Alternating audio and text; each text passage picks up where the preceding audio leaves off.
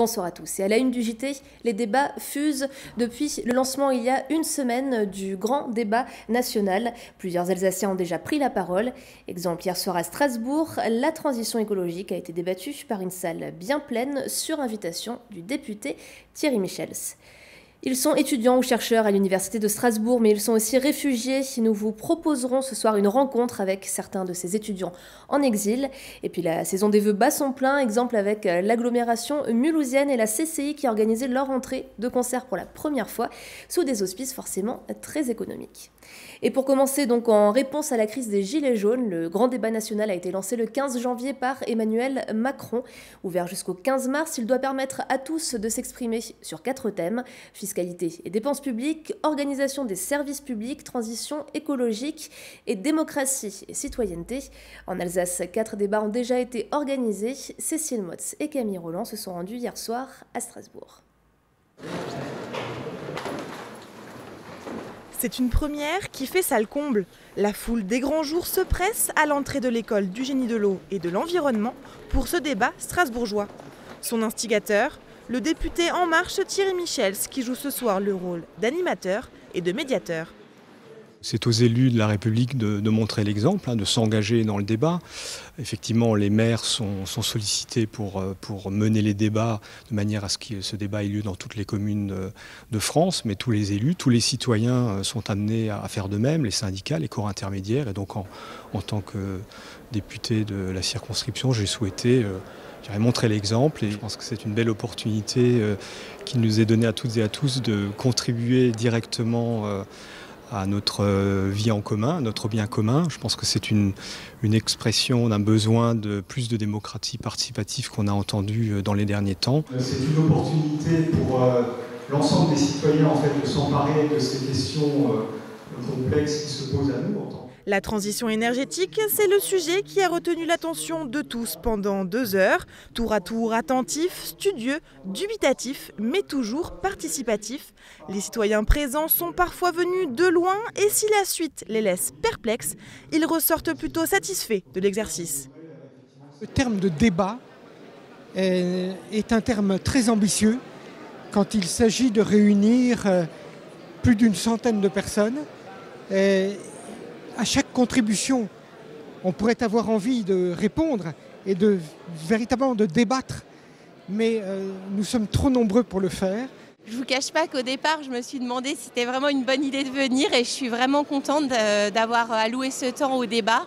Euh, les sujets étaient très variés. En même temps, on sentait une préoccupation chez tout le monde euh, de vraiment faire avancer les choses. Je pense que tout le monde a été écouté. Ça, c'est le bon point. Et j'ai apprécié d'ailleurs qu'il y ait un énorme respect de la part de toutes les personnes dans la salle.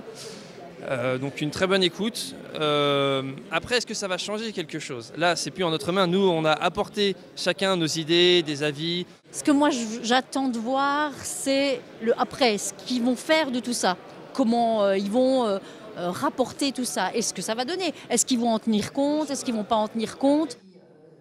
Et après cette première encourageante, le député est prêt à remettre le couvert. Il organise en effet trois autres débats. L'enjeu maintenant, c'est de comment tirer de toute cette euh, matière très riche, trouver des, inflexions, des modifications, des améliorations qui peuvent être faites sur les projets de loi qui vont euh, qui vont être examinés au Parlement, qui peuvent impacter le, projet de loi finance 2020. Donc je trouve que c'est encourageant. Une synthèse de la rencontre sera prochainement disponible en ligne. En attendant, les débats se prolongeront jusqu'au 15 mars. Attention, grand froid en prévision des températures attendues dès ce soir et les prochains jours en Alsace jusqu'à moins 8. Les préfets des départements du Bas-Rhin et du Haut-Rhin ont annoncé l'activation de leur plan hiver et grand froid. Dans le Bas-Rhin, 174 places supplémentaires d'hébergement d'urgence seront notamment disponibles dès ce soir. Dans le Haut-Rhin également, des lits supplémentaires seront mobilisés. Dans tous les cas, un numéro à retenir pour les urgences, le 115. Et notre grand format du jour est consacré à ces étudiants et chercheurs réfugiés qui sont inscrits à l'université de Strasbourg. Comme elle, une quarantaine d'universités en France ont mis en place des dispositifs d'accueil spécifiques. Reportage aujourd'hui à l'occasion de la visite du délégué interministériel chargé de l'accueil des réfugiés, Camille Roland.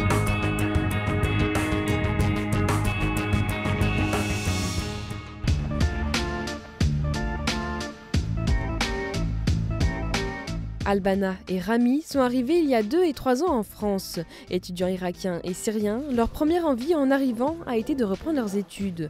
Pourtant, les barrières culturelles et sociales sont bien là. Première urgence, apprendre le français. Alors, ils sont retournés sur les bancs de l'université suivre des cours de français en langue étrangère mis en place par l'université de Strasbourg. La vie dans l'université, c'est un petit peu dur, vraiment, parce que pour faire l'inscription et tout ça, c'est un petit peu difficile et un petit peu dur. Mais il y a beaucoup de, aides. Je ne parle pas le français avant.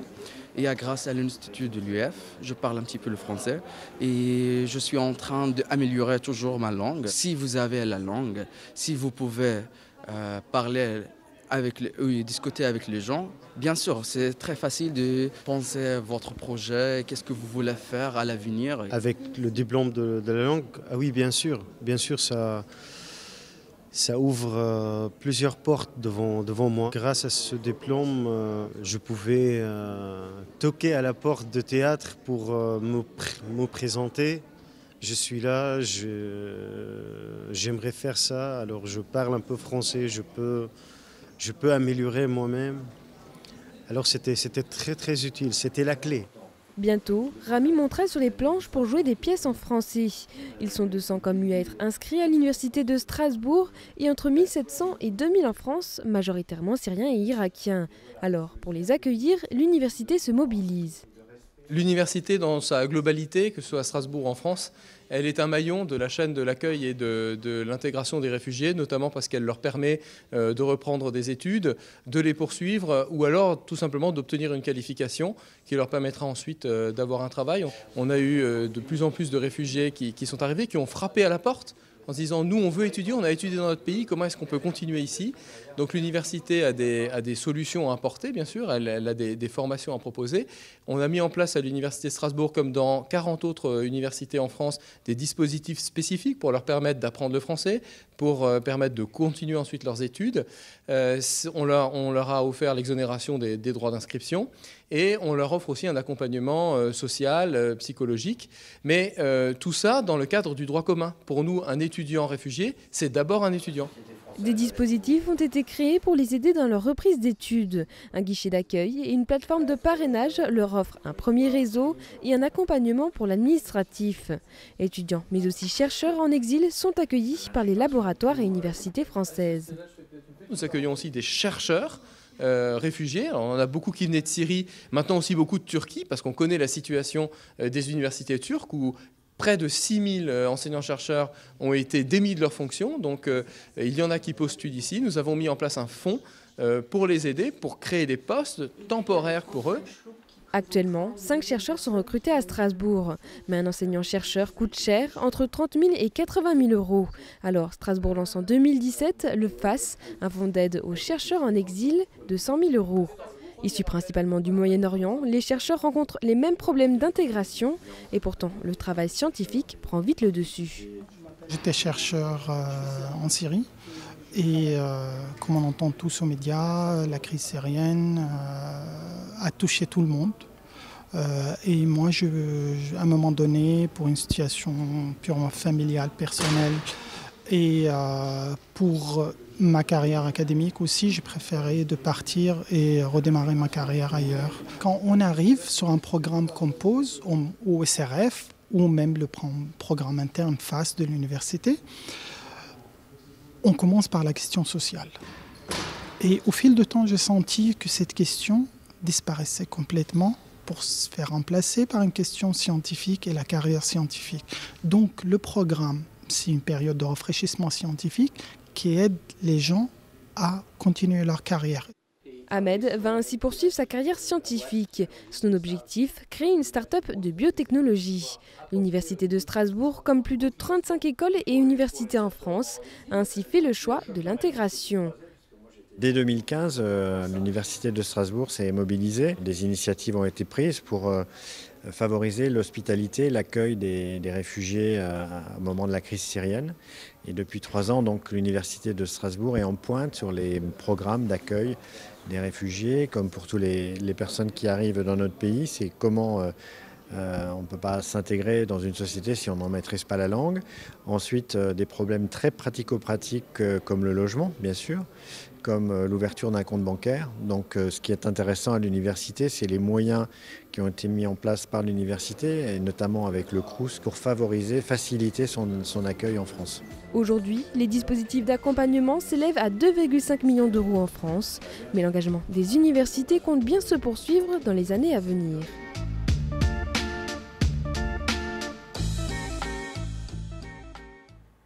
La saison des vœux est lancée. Hier soir, c'était au tour de Mulhouse-Alsace Agglomération et de la CCI de présenter leurs vœux au monde économique. Adeline Piron.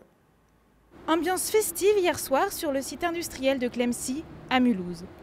Les présidents de Mulhouse-Alsace Agglomération et de la Chambre de commerce et d'industrie Grand Est ont présenté conjointement leurs vœux à 600 chefs d'entreprise.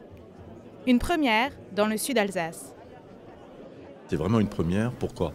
Parce que d'habitude, le monde politique euh, marche euh, sur une autoroute, si on peut voir ça comme ça, et l'économique pareil. Aujourd'hui, on peut dire que les deux mondes sont réunis dans le même but, c'est aujourd'hui d'aider nos entreprises dans leur développement et de les accompagner ensemble, CCI et Mulhouse Agglomération. Les invités ont écouté avec attention les interventions des deux présidents. Au programme, plus que des bonnes résolutions, des projets d'avenir pour cette année 2019. Ce travail à l'unisson devrait permettre à terme d'attirer les entreprises sur le territoire et de favoriser l'emploi. L'innovation, la recherche et la formation sont mises à l'honneur. Une ambition réalisable, mais qui nécessite des changements dans le fonctionnement des deux organismes. C'est un changement total de, mentalité et d'état d'esprit. Aujourd'hui, nous développons des valeurs. Les valeurs, c'est le respect, le partage, le faire ensemble. On dit toujours qu'il faut savoir vivre ensemble, mais ce n'est pas si simple que ça. Donc on ne vit plus dans un monde concurrentiel, on vit dans un monde de partenariat et de développement commun. Partager, dynamiser, fédérer étaient les maîtres mots de la soirée. M2A et la CCI comptent bien développer l'attractivité du territoire ensemble, un bel objectif pour 2019. Et direction Paris, à présent la rencontre d'une Alsacienne, Clémence Thomen. Elle travaille pour une start-up qui propose de gagner un peu d'argent avec son téléphone portable, Nora Boirioa.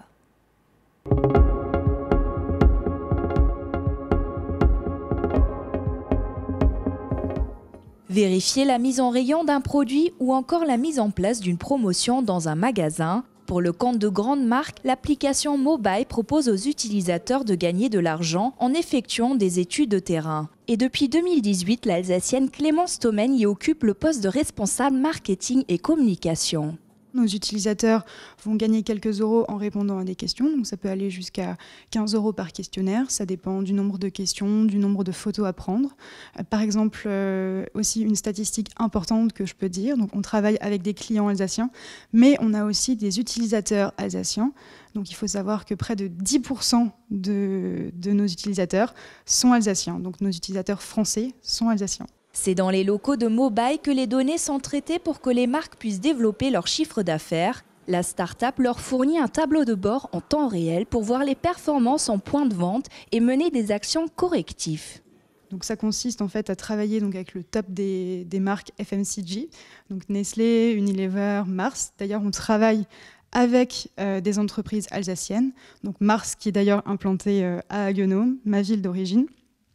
Dr Rutger, qui est plus vers Strasbourg, et aussi Stabilo.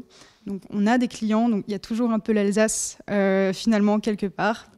Bien qu'elle ait quitté sa région depuis trois ans, Clémence Thomen y reste très attachée. RGDS, partenaire des Alsaciens qui s'engagent. Et on finit ce JT avec l'image du jour, elle est signée Oliviane. De képi aux policiers du Barin aujourd'hui. Leur compte Twitter est parmi les plus suivis de France. Il faut admettre qu'il est bien écrit et alterne les anecdotes de la région, des sondages et des conseils plus généraux. Leur objectif actuel, atteindre les 10 millions de vues pour une vidéo qui rappelle simplement que sur autoroute on roule à droite.